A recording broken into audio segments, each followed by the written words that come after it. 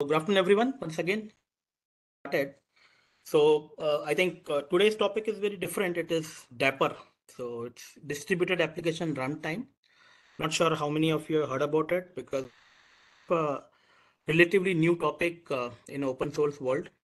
Uh, almost three year old uh, project to CNCF. It is a incubating incubating pro- CNCF Cloud Native Computing Foundation, and now it from last two three years it's taking really traction. And as you can see, this is basically uh, we use Dapr to build the distributed application faster. So it's all about you know distributed application. So kind of a advanced topic. So just a kind of a heads up. Uh, you know prerequisite or I understand or uh, you know target audience are kind of at least well aware about the microservice architecture, uh, some of the patterns, uh, majorly the Docker Kubernetes part of it, some of the container stuff, and you know how we build the event-driven architecture basically, or how do we build the event-driven application. Okay, so that way it will be easy for you to understand. Uh, Okay, so I'm on my first slide, and uh, I think as I talked about, right, so Dapr is all about distributed application runtime, right? So it's all about for distributed application. So let's understand distributed application. We all know that, but just to understand, just to give a high level idea. So we all know distributed application, right? As you can see my screen, it's all about uh, the application which runs on multiple devices together to achieve a common goal. And uh, it's spread across various computational nodes, right? And typically, you know, it typically communicate with various mechanism. Messages is one of the uh, major way to communicate. And of course, they have a shared objective. So just uh, if you look at the distributed application workflow, over here you can see shopping cart, notifications, checkout, payment, inventory, shipping are some of these applications. It's microservices or you can assume it's application. And they are talking to each other via message. Okay. So this is a standard distributed application workflow. Now, uh, if you look at as a developer, right, what are the challenges? If I'll ask you to build a distributed application, uh, of course, you're a new developer, let's say, what kind of challenges you will face or what kind of, let's say, uh, difficulties you'll face. So that's always a, you know, gray area. So let, let's, so let's move forward. So the first challenge general developer faces is this orchestration. So as you can see my screen, if uh, there are new developers or they don't have right in various uh, you know microservices development service orchestration and all basically the major challenge is how do we orchestrate services so you can see how do i orchestrate business logic across services right? There are multiple services. I don't know how the checkout service uh, and the notification service or inventory service will work together okay? What is the dependency? How can i take some logic from this service and take some logic from this service aggregate the logic over here and you know pass on the the final output to let's say shipping service right? So the orchestration is always one of the challenge in the distributed application development. If i'll move forward another challenge is the tracing observability monitoring right how do i keep a trace on the application right so there's another challenge if you can see how can I request across services and message brokers, right? So in a complex application architecture, there are various messages, various brokers, right? And you don't understand how can I keep a track on this? How can I see what is working fine, what is not working fine, how many services are up and running? There are uh, you know hundreds of questions which comes to your mind. So that is another problem uh, while we work on distributed application, kind of a tracing, right? It is typically like an observation. If I move forward, another very interesting challenge is, of course, access control. As a developer, you don't know how do you configure access to services and other resources. Access is required, right? What kind of read, write, or execute, or there are different permissions. There are different security aspects. There are different vaults. So you don't understand, or you don't know exactly what are the best ways, best practices to give the access controller to use the access control, because it's not a distributed architecture are generally complex in nature as compared to normal architecture where you definitely have multiple services multiple backend uh, components downstream systems right? So so that's where the access control also become one of the challenge. If i will move forward resiliency the fourth part of it. We all know about resiliency. It's typically how do i handle failed calls and perform retries right so i mean there are mechanisms for if something fails you retry it at three times five times and retry interval should be this right there are different API has a different uh, mechanism. But as a developer, have solid experience, right? You will always face problem, and you don't want to handle this. Honestly, you feel, boss, I don't know how to handle this. You wish somebody you know would have handled for you. So that is another for developing distributed application. Now, about all the challenges. So finally, all these challenges lead to you know the microservices development is in one area. So when I, I'm talking about distributed application, majorly I'm talking about services based application where we have various services and the entire uh, distribution is uh, among the components, right? So finally, all these challenges, and that's the reason, you know, is, is driving developers crazy, right? So developers sometimes feels uh, so many services development. The older monolith was good, you know, we know everything. It was all was all well defined, but now it looks like there are hiccups.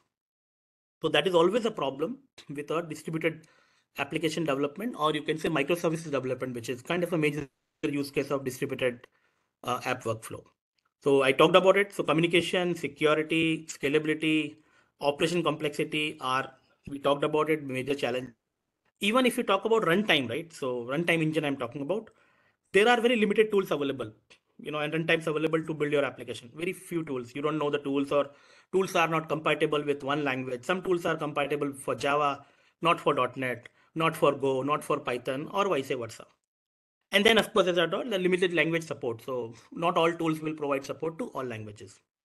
And then of course uh, you know the tools runtime have very they have very specific infrastructure uh, you know kind of a components or very specific solutions no they will not give you entire solution so those are the problems uh, what we feel as of now. And the problem is Dapr or topic for today. Distributed application runtime. For distributed, AP stands for application and R stands for runtime. Sometimes people say distributed application platform runtime as well, but officially it's distributed application runtime. Uh, we call it Dapr as the future of microservice communication. So why I'm saying communication because the entire focus is the problem I'm facing while developing microservices, majorly the communication among services, right, with respect to their state maintenance or their retries or failovers, resiliencies, security, how to overcome that. So the answer lies in Dapr. That's where uh, we'll discuss today. As you can see, Dapr makes microservices development very simple and productive. So that's the goal of Dapr. And why? It provides API basically to simplify your connectivity. Okay. So this is what it is. Now let me quickly move forward. And uh, this is basically dapr.io. The uh, application, the site is dapr.io. You all can have a look and see the site. It's standard uh, site available. And it is one of the CNCF project. It's an incubating project. I will show you on CNCF page as well. and you can see this is API for, so Dapr API for building secure and reliable microservices. So it provides you uh, various way to communicate. It provides you various components. We are calling it, we'll call it building blocks in future. Blocks via API, which will help you to build these services and try to take most of your pain, basically, you know, the, the pain I talked about. Okay. Some of the use cases you can see. Uh, now, let's uh, learn more about Dapr, some introduction. So it, I think as I talked about, right, it is not a very old project. Started, uh, you know, it was accepted in CNCF on 2021, so hardly uh, three years now at uh, incubating. Uh, it is a self-hosted uh, project, open source project, of course. Gives you it works through API, and the API we call building block. So building block is a very common term in Dapr. Okay, and the building block is something which is going to simplify your microservices connectivity. So we'll talk on building blocks. We'll talk on what all building blocks are available how to implement those building blocks and how can we make our microservices development faster. And you can say, you know, the API I was talked about, the API is available for communication, state maintenance, workflows, and so many other things. Okay. And good part is all these APIs, the, the you know, the building blocks, they cover the entire best practices. So they have written, uh, of course, using the best standards, architectures, security standards, so that you don't bother about, right? whether you followed the right practice. Uh, underlying components uh, ensure that they follow the best practices and guideline. So that's what it typically builds for security, resiliency, and observability. Uh, so or focus on code, right? So that is the goal of Dapr. You focus only on your code, Rest everything you leave it to us, and we will try to take care of most of the stuff, right? The most heavy loading work, or you can task, or you can say peripheral task. Okay, and uh, typically, you know, 20% developer productivity is improvement is what Dapr claims. Okay, and uh, I think we have one use case in our unit, Molina, Molina, where we have implemented Dapr. So I think they are and they are also liking the uh, Dapr uh, features and of course out of the box support. So I'll talk on feature, but typically workflows, PubSub, state management, secret store, configuration, bindings, blocking, security cryptography, a lot of stuff which will will be Dapr. So I'll move forward and I'll I'll just try to show a video. So, so please have a look, see this video, and then you'll get some uh, idea about it. Let me run play the video. Okay, here you go.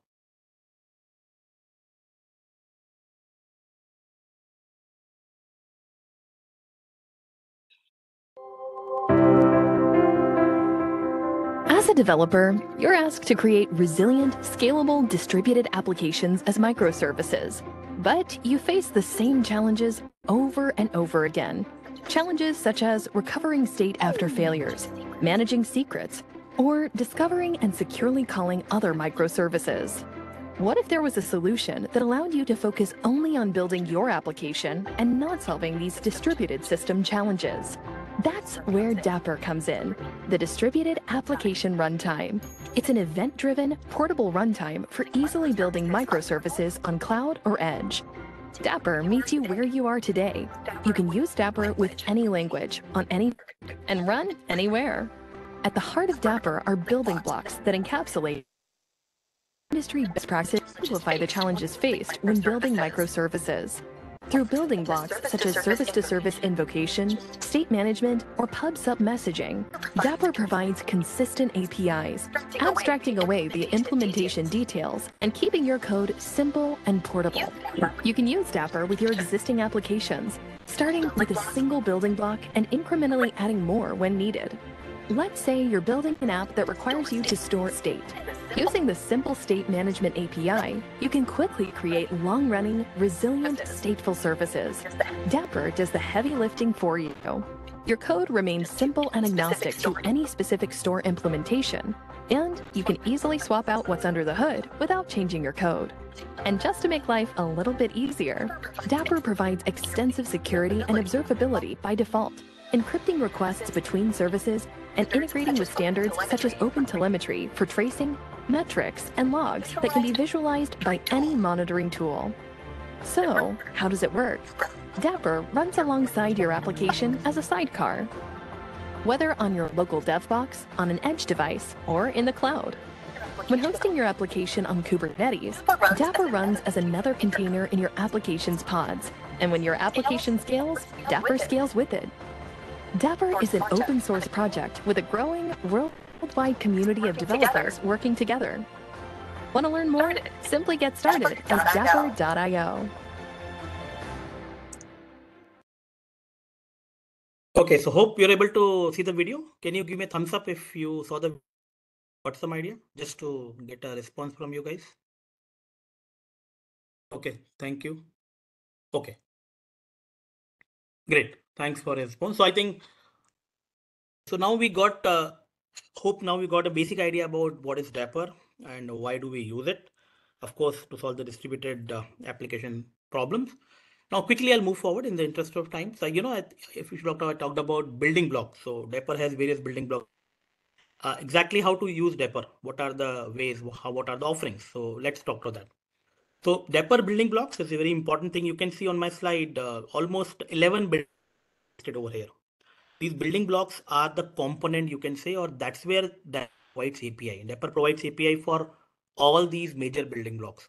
And if you can see the blocks, so if you look at building blocks, uh, typically, uh, typically in one for what format? So you can directly use any of the building block. We'll talk on the building blocks uh, as well in detail, just like an API. So you can call your application with HTTP or gRPC API from your code. Use one or this component. So if you want to, uh, let's say, for example, service to service invocation, very standard use case where you are building a microservice uh, architecture and you talk to another services, service to service invocation. So one way is directly calling services, but of course you will, there are challenges, there are issues, right? So use service to service invocation component, which is available within Dapr as a building block. It will help you. You see, perform direct source secure service to service method calls. Publication PubSub, very prominent pattern. We all know even during architecture, we all know Kafka or RabbitMQ, right? So if you are using PubSub, mostly we are using any of the architecture, right? So uh, you use Dapr pub, PubSub building block. Okay, every building block will come, will give you APIs. You need to use that API building block as a as a kind of a binary in your code and then start using those component classes functions and then Dapr will take care of rest of the other thing workflows state management bindings actors actors again if you know the microservices one of the which typically uses for concurrency secrets configuration distributed locking for for securities cryptography and you know various scheduling almost for all these 11 building blocks, Dapr has a component. Okay. We will see two or three in detail uh, with more, you know, some examples, but we, we won't be able to cover all. But yeah, this is, this is all 11 building blocks build the Dapr. So if you want to understand what is Dapr, Dapr is all about these building blocks. Okay. And uh, every building block is, as I talked about, it's an API you call from your application. Okay. Uh, before I move forward, a very important statement how Dapr works. So I think you would have seen that video as well. Dapr injects a site, which is a container or process to each compute unit. Okay, so sidecar is very important word over here because the entire uh, in next slides, uh, you know, next discussion will use the words. So sidecar typically, you know, you know, a unit attached to your bike. Uh, typically, that what we remember, right? Sidecar is typically a pattern. It's a microservices design pattern. It's nothing but adding another uh, secondary container or a process or a unit to your uh, primary process. Okay. In secondary process or container will take care of all the peripheral work and main main application can take care of major uh, application work, right? So car is all about. Let, let's talk more on sidecar. Here we go. So Dapr uses sidecar pattern. You see what is sidecar. Just try to understand this is very important because usage of Dapr is based on how sidecar works. Okay and see uh, again standard uh, uh, workflow. There are various processes. You see shopping cart, checkout, payment, shipping, right? And you see there are sidecar attached to each process or each application. So the so why I'm saying sidecar because those are the another secondary process or secondary unit which is attached to your primary unit. Okay. So you see all these instances. So if you have let's say all these services, you have site each service or each component okay or each unit and you see one two three four five sidecar right and you see this is an example of sidecar so finally you can also refer sidecar as supporting processes okay or services attached to your main services okay and that is where now what is the use of sidecar what kind of peripheral work they will do i think we have discussed in the brief but let's let's see more on that so before that i think just want to just uh, talk let's say talk on two minutes and what to sidecar i think if you microservices, you would be aware about sidecar pattern. So typically the design pattern, it helps you, you know, involving the deployment of secondary containers or sidecar along with your primary services or your microservice instances, right? And these sidecars are typically task. I think, you know, we talked about all the tasks. So logging, proxy, configuration, security stuff, state management, right? All these are the uh, auxiliary tasks or secondary tasks. So you see with each primary application, we will attach a sidecar Okay. And over here, sidecar is nothing but a Dapr instance or a Dapr unit or a Dapr process so that the entire communication will not be direct. It will be via Dapr, via sidecar. Okay. So a side typically, I mean, uh, hope so you are aware about uh, the proxy, right? We use any uh, API gateway or proxy. So all call goes to proxy and proxy redirected to the right place and then, you know, get back to you. So you are behind proxy. Similarly, over here, you are behind sidecar, which is nothing but a Dapr instance. Okay. And as you can see, uh, sidecar is not like majorly you can connect it. Uh, work with your application, wherever your application is. Okay. So I think now you know the sidecar. Let me move forward. Okay. So this is a very important uh, slide. Uh, it will give you end-to-end -end view as to what Dapr is all about, whatever we have learned so far. So this is from development to hosting if you look at the overall uh, Dapr architecture, you can see on top we have various runtime, be it Node, Python, .NET, Go, Rust, Java, C++, PHP, all almost all uh, languages are supported. That means we have a SDK available from Dapr. So you can say we have uh, SDK from Dapr, .NET SDK for, from Dapr, or Dapr Java SDK, Dapr PHP SDK. So that, so that means it has support to all clients, all languages. Okay. And app using any of the language. When you're developing app, of course, you would like to deploy your app on uh, various on-prem or cloud containers, or you want to integrate with your backend systems, databases, services, right? So you see in between, you know, in between the intermediate layer is the Dapr. Okay. So you're talking to your services, uh, to your in to provider for various needs. You will talk via Dapr. Okay. Via Dapr building blocks. Because Dapr is a uh, you know kind of a runtime environment, but finally down the line it will give you building blocks. Okay. And how do you call building blocks? Via HTTP or gRPC API standard way. You have to call from your any of the code, call make an API call to Dapr and use any of the building block based on the requirement. Now, workflow building block for workflow needs, PubSub building block for PubSub needs, service invocation if you want to invoke another services, if you want to state, uh, state uh, save the state of your object, you can do that act, uh, jobs scheduling, configuration, secrets, binding, which is typically adapter, security, locking, middleware, everything, right? And find the cross-cutting concern. Observability, security, resiliency is by default added by the uh, Dapr. I talked about it. They have specific, uh, you know, offering available in their own uh, libraries. Okay, and down the line, you, uh, you these applications on or integrate on any cloud infrastructure. Okay, so that here part of it and how you, you're going to work of course as i talked about every app to attach a sidecar inject a sidecar as a container or process to your compute unit okay finally the, the sidecar whatever we are calling a Dapr they are going to interact with your event triggers and they are going to communicate with your compute unit and then give you you know final uh, basic discovery. Okay. So i'll take a pause over here. Uh, if any questions before we move forward you can unmute yourself uh, and ask a question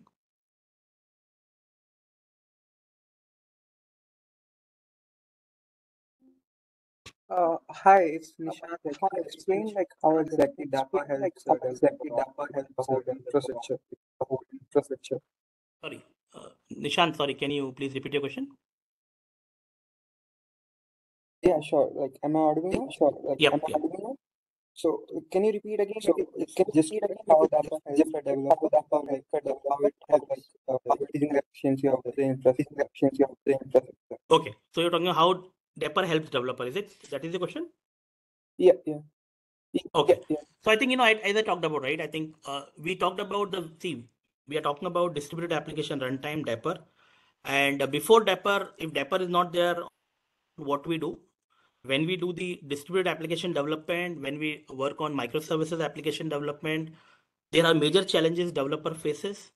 Challenges I talked about, of course, uh, you know, the state management, the communication among various services, the security stuff, right? Down the line, you call various retries. If there is a service fail, how do you want to ensure that retries are there, retries are there, right? And and then how do you trace your services? I mean, I'm talking about observability over here. How do you ensure the resiliency? How do you ensure the security stuff, right? So there are so many problems down the line which is there. Now you have to have someone to solve your problem. So what I talk Dapr is there to help you uh, with all the problem.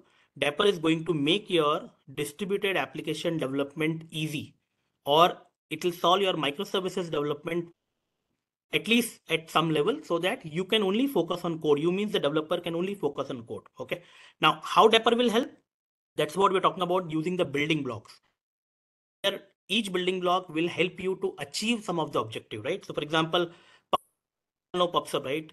We are using Kafka, RabbitMQ, but if, if I'll ask you, okay, let, let me uh, directly call a Kafka queue.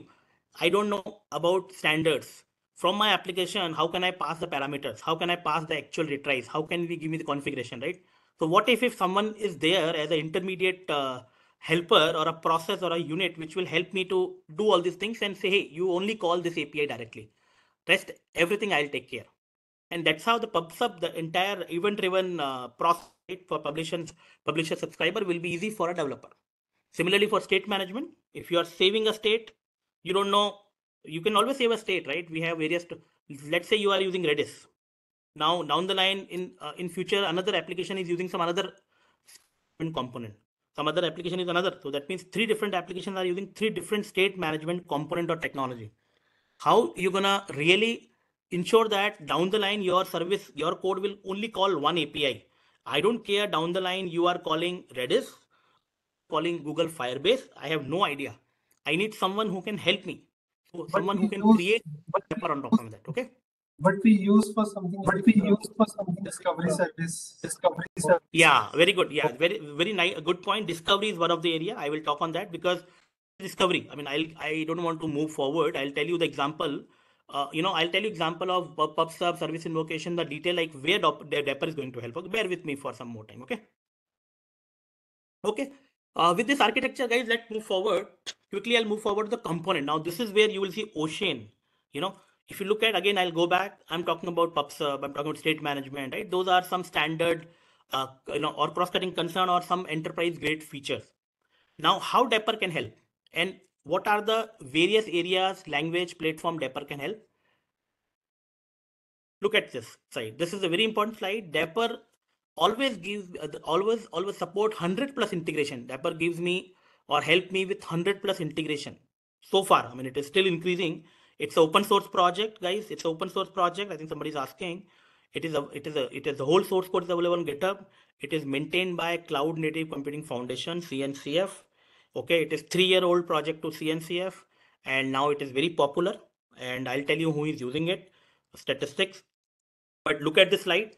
Now, why I am showing you this slide? These are some of the examples Dapr can help. And definitely you will relate to your environment for sure. For example, state management. I think I talked about state management, right? So I am using Redis, somebody DynamoDB, somebody is using uh, DynamoDB, somebody is using Cassandra for state management. Okay. One application may use multiple state management or multiple application in a distributed environment can multiple state management technology, platform, libraries, tools, right? I don't want to really, uh, you know, get influence and I don't want to really deal with all. Who can Dapr? So what we are saying is, hey, I am the, I am the developer. I am writing this app. I will only call a Dapr API, and I will say, hey, I I am calling a Dapr API and I am calling a Dapr State Management API. That's it. Dapr down the line will help me out with all these implementation. Okay, I will only call my if I'm using Redis, what is best practice for Redis? What is best practice for Cassandra? Interchangeably, in future Redis will change to Cassandra, I'm okay. I don't care because uh, I am behind Dapr. I am I, I am behind Dapr. Dapr is attached as a sidecar. Dapr is doing say, state management for me, not I am doing it directly, right? So down the line, Dapr all the pain. Publisher subscriber, I think we talked about various things, right? That is, uh, you know, SQS or Service Bus or RabbitMQ. You use any implementation, finally Dapr will support all these things because down the line, Dapr code, the Dapr uh, library, uh, support for these technology, these platform, these tools. Okay, it is increasing. They are adding more uh, components, more integration. But for now, it is helpful for all of things. You can see all the major names are here. For AWS Secret Manager or your HashiCorp Vault or Azure Key Vault or GCP Secret Manager. You know, for configuration, locking, workflows, cryptography, and they are still evolving. So what I'm trying to say is, if in your application you are using any of the technology, let's say you are using RabbitMQ, okay, you directly attach use Dapr and you call Dapr instance, Dapr API via gRPC or uh, HTTPS request, and then let Dapr handle your RabbitMQ stuff for you or configuration stuff for you. Okay, that is the power. We'll see that. We'll see some example. Let me move forward, guys. Okay, so I think now you know I'm talking about Dapr will help, Dapr will, but will help. Okay. So of course, and I'm talking about if you look at the various languages over here, right? Various languages I talked about in this uh, diagram. So Dapr provides SDKs. That's the great thing. Dapr SDKs are the easiest way to get into a Dapr uh, in your application. So you can see uh, that Dapr has SDK for .NET, Java, Python, PHP, Go, C++, Rust, and some nine, eight to nine languages as of now. This is one example of where is Java SDK. You can go to the site and see the Java SDK where you will find the Java SDK. Now, uh, if you are using, if you are Java, Java developer working on a Java Spring Boot microservices based implementation, use uh, Dapr Java SDK to make your life easy. If you are a data science guy, use Python, else use .NET or, or JavaScript if you're using Angular React based application based on your application development, Dapr available. So you don't bother about it. You just need to call Dapr API down the line based on some configuration. Dapr will ensure that it will give you uh, the right connectivity based on your inputs. So that is the power. Let me move forward. Okay, so now we are moving towards development, guys. Just uh, so let's say, okay, so now we understood what is Dapr, what is Sidecar, what are the problems we're trying to solve. Now, how to develop, uh, how to use Dapr, you know, as a local development. How to use log, uh, start with, uh, get started with Dapr. That's a slide is all about. Standard three steps: Dapr CLI, Dapr init, and Dapr run. You have to only, uh, you know, remember these three uh, commands give you complete uh, basic uh, installation of Dapr package. Dapr init will initialize most of the libraries container what is required. Okay, I think you can see example. Dapr init will initialize Redis container for you. Zipkin, Zipkin is for project for tracing, typically for observability, default component folder, placement, Dapr scheduler service container. So it will initialize everything for you. Uh, you know, just a command in it, in it, and then you can run Dapr based on what, uh, of course, using API for whatever building block you are looking for. Okay. Major thing is remember Dapr requires Docker. So the you know prerequisite to run should you, you should have Docker on your machine. Okay. I mean without Docker you can start it, but most of the uh, stuff. Okay. Even I don't have Dapr on or sorry Docker on my machine because Infosys restricts Docker. At least so far I don't have that. So I don't have full implementation. I will show you a small part of it. Without Dapr you can uh, install, uh, uh, you know, without Docker, you can install Dapr, but a slim version, which will give you some features. Okay. So overall, you can see the diagram. You install the Docker desktop. That's it. Run three commands: CLI, init, and run. you know, for initialization, and then running your process, and then you're good to go. That's it. Okay. So let me move forward. Yeah. So now, if somebody wants to get started, you can start it. Get started with Dapr. So install the Dapr about Docker is a prerequisite. Use the Dapr CLI command. There are standard uh, command is available. You can use this command to uh, run the Dapr CLI. It's a PowerShell command. This command you can use it, and of course, tell the uh, set the Dapr CLI uh, as a path variable. Okay, that's important. Environment variable. Once you run the CLI, the, this will install the Dapr uh, on your laptop desktop, and then you initialize it. So initial nothing but Dapr init command. It will initialize your Dapr and it will, uh, you know, it runs as sidecar, right? So typically it will install all the binaries on your local machine. Binaries we talked about, whatever Dapr will provide. It creates an environment as well for you. Okay. And then you can start using Dapr using Dapr run. For example, over here, I am using this command Dapr run and I am saying, hey, run the Dapr for my application. I am giving application ID, which is running on a specific port. Okay. So this is just a, I have let's say I have a .NET application or Java application or Angular application. I'm running the Dapr for that application on the specified port. So these are the three commands. Now, uh, because let's say which, for an example, I would I'll use the state management building block over here. I think the, the state management. So for that, I have Dapr state management API, which is provided from Dapr. So how can I use that? Let's say I'm using Redis for my state management. So very standard, uh, you know, if you want to save a state object, call this command standard. You provide uh, you know provide the key value pair and uh, of course your standard api uh, api definition okay and your state store whatever state store you have you will you will be able to save the object. You means you are calling Dapr but Dapr state management api will help you to save the object okay? You're not directly talking. Similarly if you want to get the object you will call this. It will give you Dapr uh, sidecar instance will give you the value from uh, of course using the state management api and then you can delete it well this is an example this is like how uh, Dapr will initialize it. Okay. So let me take a pause over here and now try to show you uh, how Dapr is running on my machine. With me guys, can you please uh, raise your hand or give a thumbs up? Okay, thanks Vivek. Okay, so I think I, I'll, I'll quickly show you, you know, okay, so if you can see my uh, CMD command, you can see Dapr is installed. So uh, you know, I can check the Dapr minus version. Okay, I have already installed Dapr CLI. So Dapr minus version, it you can see the CLI version dot 14.1. And if I would like to check the Dapr uh, installation, you I'll run Dapr minus H. So Dapr minus H will typically you see the Dapr. It will install the Dapr runtime on my uh, laptop. But unfortunately, I don't have Docker, so I won't be able to show you the processes because that requires Docker. Without Docker, you can't do most of the stuff. Okay. And these are the commands. So, you know, you see the commands you can, you know, which you can use. You can list out all the processes, invoke it, publish, you can run the command, you can status, uninstall, upgrade version, dashboard. Dashboard is a command which will show you all the running processes on your machine, on your Dapr. Okay, so let me run Dapr dashboard. Okay, so you, you can say Dapr dashboard, this command. Uh, Dapr dashboard on this prompt. Yeah, you see the Dapr dashboard. You see the Dapr dashboard. I'm using Dapr dashboard. It will it will it is it will it will give me UI on on my local host, and it will show me all the process. Let me show you the UI. If you can see my screen.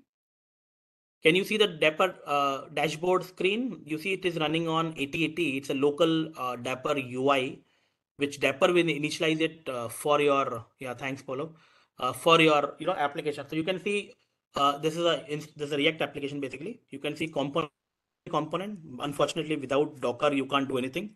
So uh, else, if you have Docker, you can always use, use state management, PubSub, or any secret manager and do some hands-on on this. You see configuration, but but just to show you like this is a dashboard okay in a real uh, in, a, in a real manner it will show you all the components which you are using in your Dapr let's say you are using four five or five building blocks all the components along with the process will be available over here okay so this is a Dapr dashboard okay and yeah i was showing you Dapr right i mean now i'm since we are here this is cncf project and if you can uh, Dapr is one of the uh, incubating project it is here okay on Dapr side on CNCF Okay, so let's move forward, guys. Uh, we talked about uh, how to use Dapr, how to install it, what are the problems it is solving. Now, where can we deploy? You, you know, you can deploy it's almost everywhere. So this is standard, uh, you know, I think all the environments, what you're talking about. So you can deploy uh, Dapr on any of the cloud. Uh, and good part, I think that is where it is uh, most, you know, kind of close to on virtual machines or physical machine. Okay, so now let's see how you can deploy uh, Dapr on Kubernetes. I think are I think fascinated about Kubernetes, right? So okay, here we go. So this is a architecture diagram how Dapr can be deployed on Kubernetes cluster. Okay, so this again standard processes. You can have a look. You know that in Kubernetes we have various pods, and uh, standard pattern is Dapr will inject a sidecar to each application. Over here application is pod so if you have, let's say six or five pods, you have six or five Dapr instances, which is typically a sidecar. You see Dapr over there. Everywhere you have you see Dapr for various purposes. Okay. So, and of course you can see the Dapr with the main pod over here. So idea is same. You initialize your, uh, you know, Kubernetes application, run the pods, attach, uh, you know, sidecar or Dapr instance uh, with the pods. Whenever you are talking to any application, of course, your microservice communication, communicate it via Dapr APIs, via Dapr State Management API or a service to service invocation API. Okay, that's a way, right? Don't directly talk. And then down the line, down the line, uh, Dapr will help you out. Okay, so for example, if Kubernetes uh, pods will scale in, scale out, Dapr will also scale in, scale out. That's a power. So it will, it will, it's a, it's a process. And of course, see you can host on any component. Okay, so this is typically how Dapr uh, works on Kubernetes. We don't want to go in detail, but just if you are a Kubernetes developer, you can use Dapr or Kubernetes as well. It's idea to talk on that. Community is very strong, guys. I think uh, CNCF it's uh, one of the mm, uh, powerful project now. It's three years old.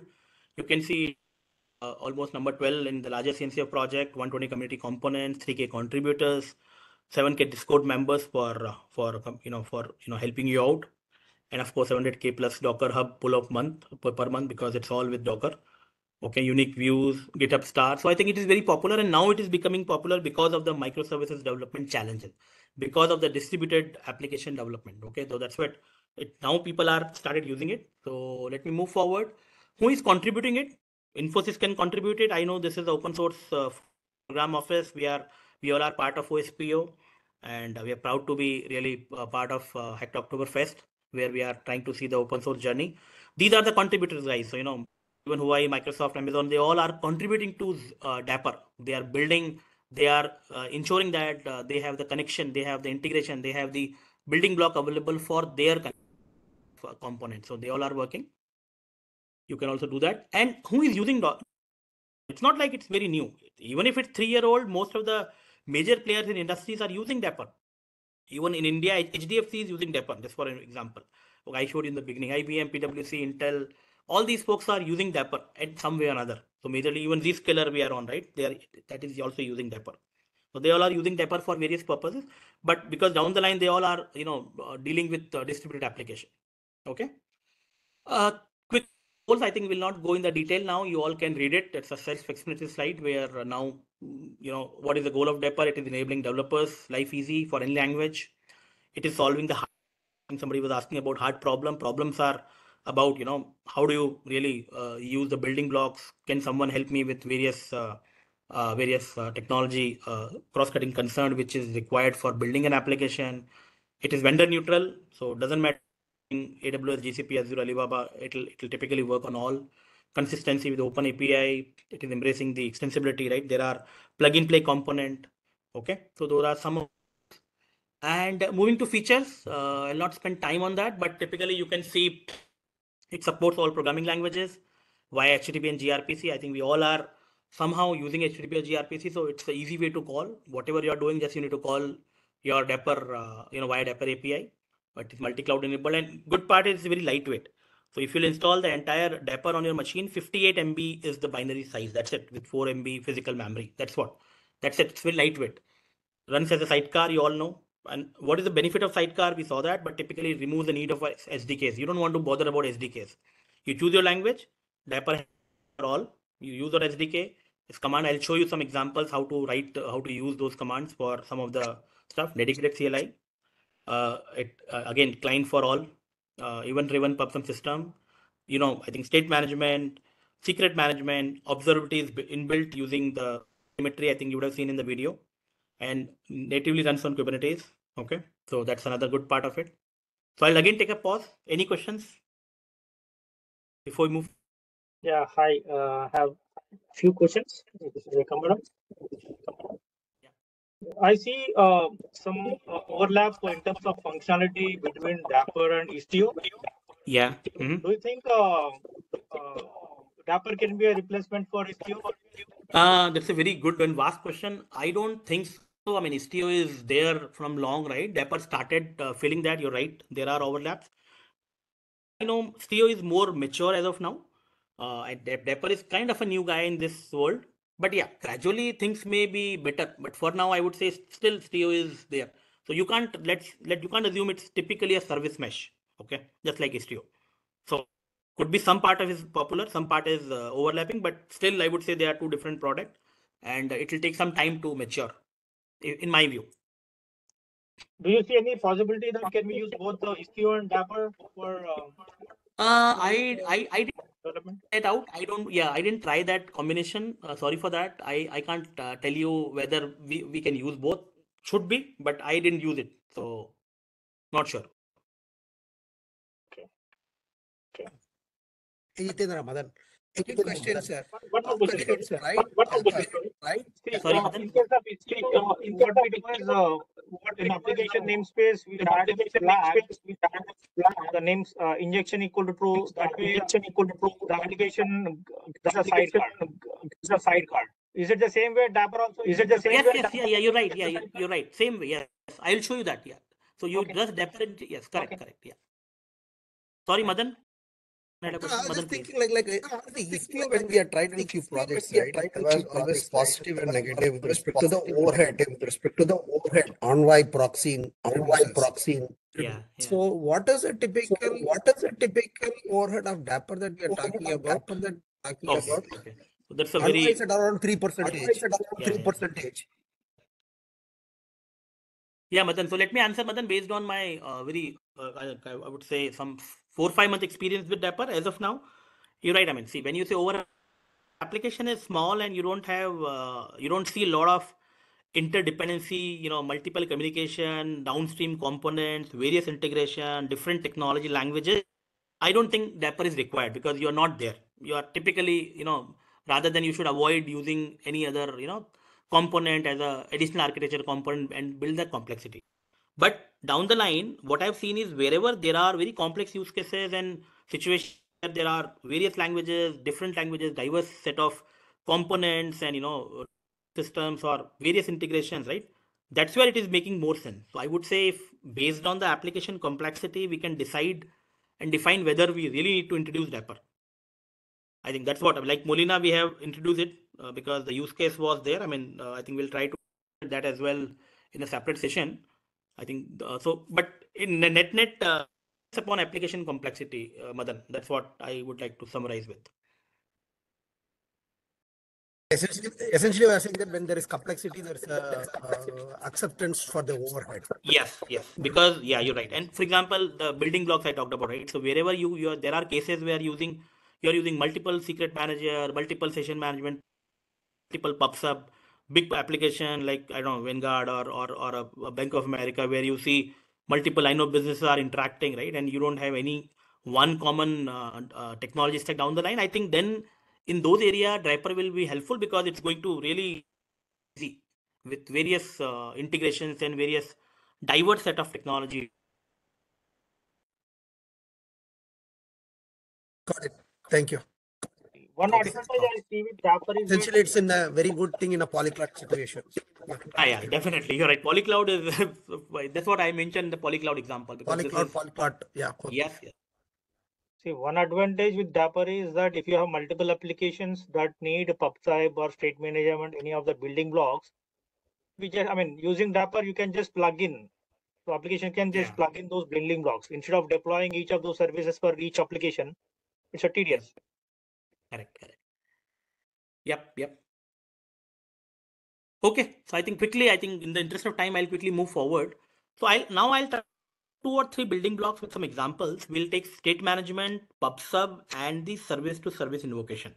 In the interest of time, I won't be able to cover other other building blocks that we can cover maybe in further sessions which we can request from OSPO group. Okay, so quickly the state management. I think I talked about state management. You can see how state management can be helpful. Uh, again, you can use state management API to read, save, query your uh, key value pairs, your data via Dapr, and you can see over service if you're calling, you are you, you'll call a Dapr instance, a Dapr API, and then Dapr down the line will have a store management uh, state store component which will resolve your uh, query based on whatever implementation you are using. Okay, so that's a state management example. And down the line, somebody can I think Madan asked right. So simple is fine, but complex situation is where state management uh, cases where Dapr will be helpful, like this one, where you are setting the choices on concurrency control, data consistency, where you have bulk updates, right? With you where bulk updates are there based on your multiple requests, various scenarios. So all these scenario where bulk update or or delete or or add is on your multiple operation, right? Those are the scenarios where state management API uh, from Dapr is going to be more helpful. Normal uh, key value get set is not a big deal, but and of course the major implementation. Wherever the implementation is varying or changing or there are multiple implementation right? And you need to get the response from various uh, you know uh, product or various line of business down the line. Okay? Uh, okay. This is an example guys. I mean just a kind of a small coding you know this building block and this is a javascript sdk right? So what i'm trying to show is over here is how to write how to use the javascript uh, Dapr sdk for state management and how do you write a small uh, code snippet for saving and getting? Okay so typically the Dapr client of course based on the language support and provide your host and port name and then get the state from this and then you know save the state. So you know it typically await clear client dot state dot save is you will be able to save your state okay? And this state can be fetch using of course get state. So this is standard javascript but now rather than the normal coding you are using Dapr client. So the, the whole libraries is, is is driven from Dapr. So you are using Dapr specific SDK code. Okay, the, development kit basically. Uh, let me move to second uh, invoke uh, second uh, building block service to service invocation. Uh, I think we talked about it. I think uh, somebody asked it. I, I have the you know I said you please stay. So just look at this slide. You will get the answer.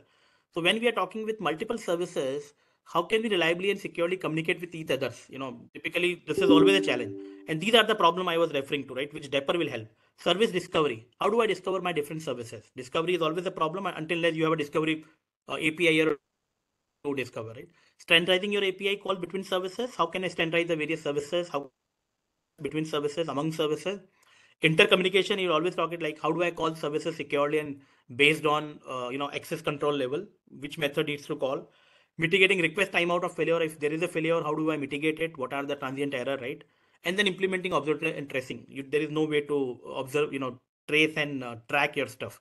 So these are which generally uh, comes down for a developer in a service to service invocation in an environment. And that's where Dapr shines over here.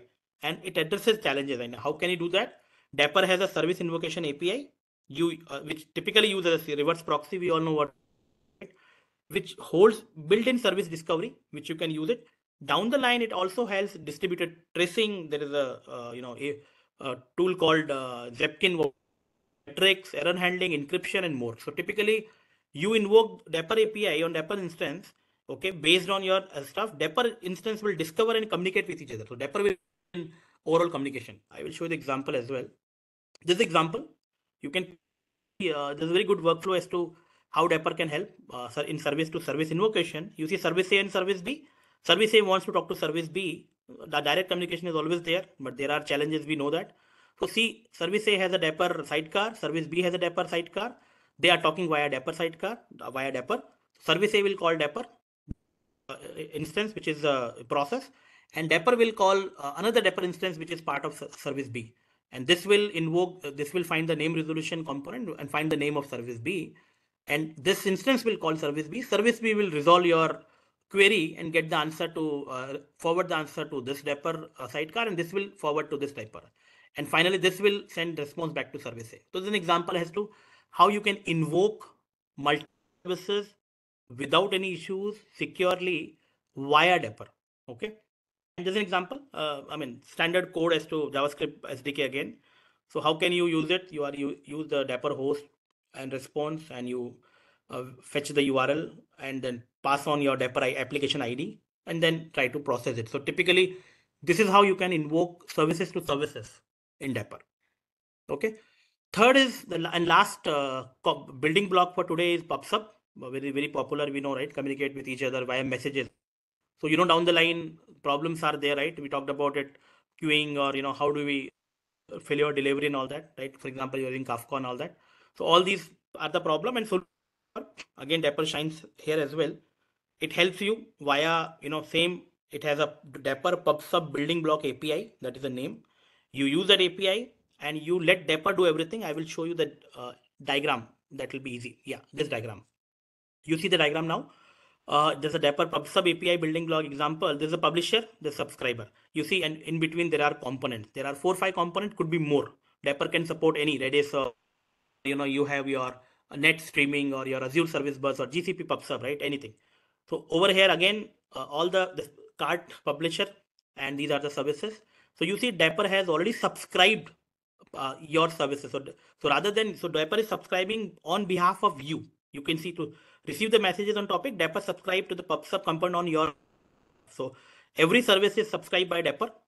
Okay, you see the su- subscribe by Dapr. Now, uh, cart will call a Dapr instance. Okay, based on the configuration, this Dapr will find out it is Redis or GCP or something else.